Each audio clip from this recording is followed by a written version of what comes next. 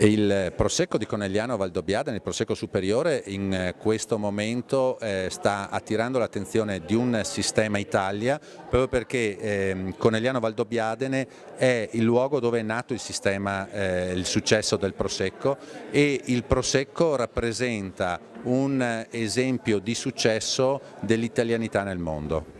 Credo che con la presenza eh, del Ministro Alfano stasera e in modo particolare con eh, tutti i dirigenti della Farnesina eh, si voglia testimoniare che il Prosecco Superiore di Conegliano Valdobbiadene eh, sia l'eccellenza della bollicina italiana nel mondo. Credo che eh, questo sia un passaggio estremamente importante sul quale noi chiediamo veramente una sinergia con tutte le ambasciate eh, italiane nel mondo e gli istituti di cultura italiana nel mondo proprio perché raccontino eh, questo territorio, raccontino questo esempio di successo eh, nel mondo del vino italiano. Penso sia la prima volta che un Ministro della Repubblica Italiana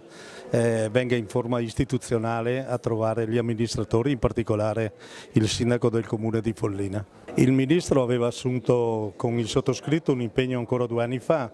eh, ci eravamo trovati mm, a Treviso e mi ha detto sai prima o dopo verrò anche a trovarti a Treviso, l'ha mantenuto la promessa, come è solito fare però.